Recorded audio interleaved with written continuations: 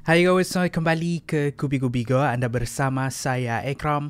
Pernahkah anda terfikir yang kalau manusia boleh hidup luar daripada bumi? Bukan hidup di angkasa di ISS tu, tidak. Tapi hidup di planet yang lain. Lebih tepat lagi di planet Mars. Sekali dengar macam science fiction. Macam mana kalau ada hidupan manusia di planet lain? Mungkinkah kehidupan kita macam dalam cerita Star Wars ataupun macam dalam cerita Star Trek? Itulah misi yang cuba dilaksanakan oleh Elon Musk melalui syarikat dia yang dikenali sebagai SpaceX. SpaceX mahu menghantar manusia ke Mars pada tahun 2020 dan mahu menghantar 1 juta orang di Mars menjelang tahun 2060. Mungkinkah misi ini boleh terlaksana? Mungkinkah kita boleh pergi ke Mars suatu hari nanti? Tapi, kenapa Elon Musk bersungguh-sungguh mahu menghantar manusia ke Mars? Apa tidak cukupkah lagi bumi ini untuk manusia? Ataupun mungkin ada sebab-sebab dia yang sekali dengar, oh, Masuk akal juga kalau manusia hidup di planet yang lain. Misi menghantar manusia mendirikan koloni di Mars ni seakan melanggar hukum alam. Tapi menurut dia, ini adalah titik paling sesuai untuk menjelajah angkasa lepas. Itu adalah perkongsian kita pada hari ini. Kita akan melihat lima sebab kenapa Elon Musk mahu menghantar manusia ke Mars. 5. Mewujudkan multi-planet species. Multi-planet species bermaksud spesies spesies manusia yang hidup di planet yang berasingan.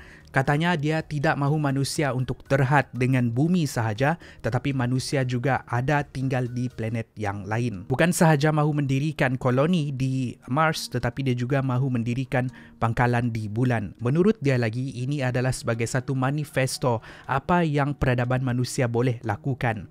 Dia memberikan um, gambaran contohnya manusia zaman primitif dahulu tiada teknologi yang kita ada sekarang dan manusia zaman sekarang ni membuktikan yang manusia manusia boleh pergi lebih jauh.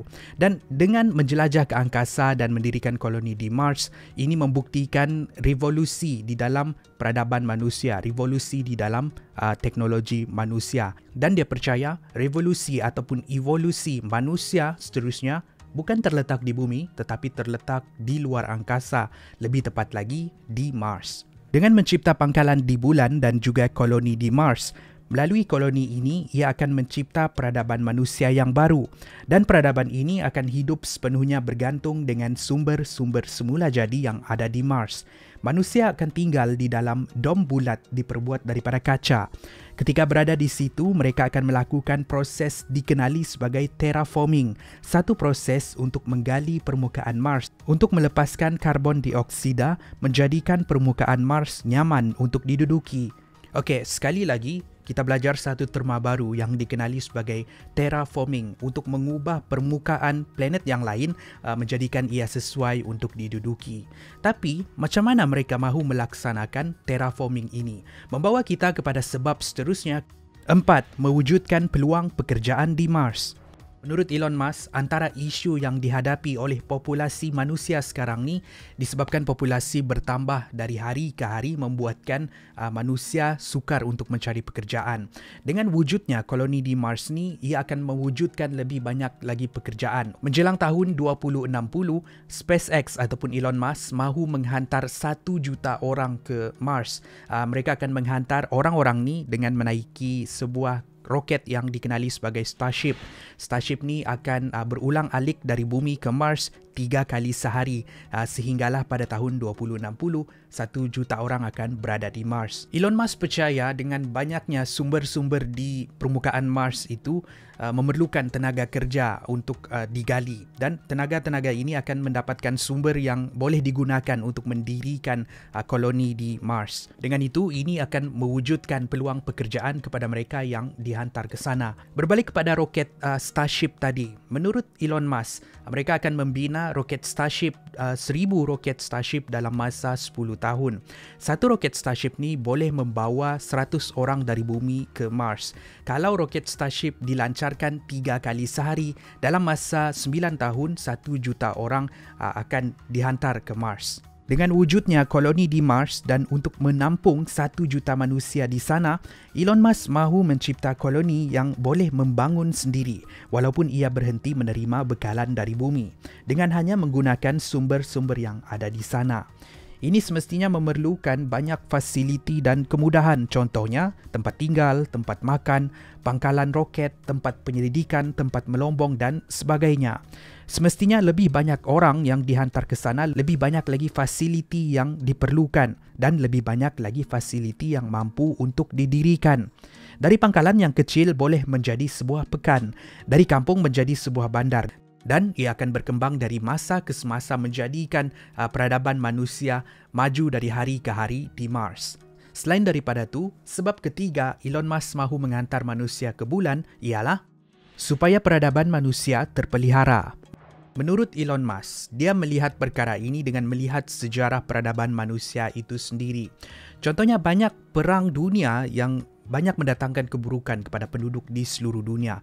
Perang Dunia Pertama, Perang Dunia Kedua, perang dingin. Bukan itu sahaja, bencana alam juga terbukti menjadi ancaman kepada peradaban manusia. Ini adalah satu visi masa depan yang agak menakutkan dan menggerunkan. Kenapa? Sebab kita tahu yang suatu hari nanti memang bumi akan dihancurkan menjelang kiamat kelak. Kalau tidak pun ia akan dihancurkan disebabkan oleh manusia itu sendiri. Wujudnya peradaban manusia di Mars ini seperti backup plan kalau ada apa-apa terjadi di bumi dan memastikan peradaban manusia sentiasa terjaga. Macam mana?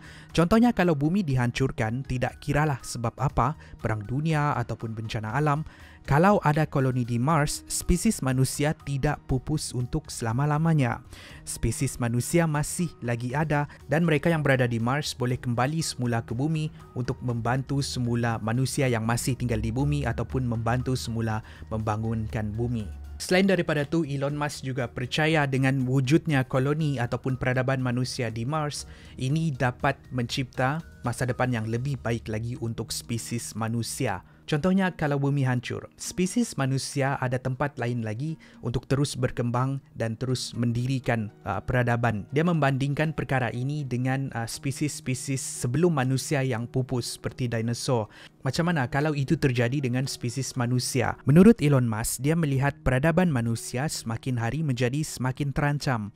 Pecanggahan politik dan konflik berlaku di sana sini. Setiap negara dengan fahaman masing-masing dan yang paling menggerunkan, negara-negara besar dengan nuklear masing-masing. Ini semua membuatkan masa depan manusia terancam. Peradaban di Mars digambarkan sebagai sebuah peradaban yang lebih aman damai, di mana fokus peradaban awal di sana ialah untuk membangunkan koloni dan juga untuk mengembangkan penjelajahan angkasa yang akan membantu lagi proses evolusi manusia. Dengan itu Elon Musk percaya yang ini akan mencipta masa depan yang lebih baik untuk manusia. Sebab pertama, kenapa Elon Musk mahu menghantar manusia ke Mars? Memaksimalkan kemajuan teknologi yang ada. Elon Musk percaya yang zaman kita sekarang ni adalah zaman terbaik untuk manusia melancarkan misi menjelajah angkasa. Dia mahu menggunakan, memaksimalkan teknologi manusia yang ada sekarang. Dia mengambil contoh teknologi peradaban zaman silam dahulu. Contohnya piramid. Zaman silam Mesir mempunyai teknologi untuk membina piramid, sebuah struktur yang sangat-sangat besar. Tapi sehingga hari ini teknologi tersebut tidak dapat diketahui. Ia dilupakan oleh orang-orang Mesir sendiri. Berbalik kepada zaman moden pula.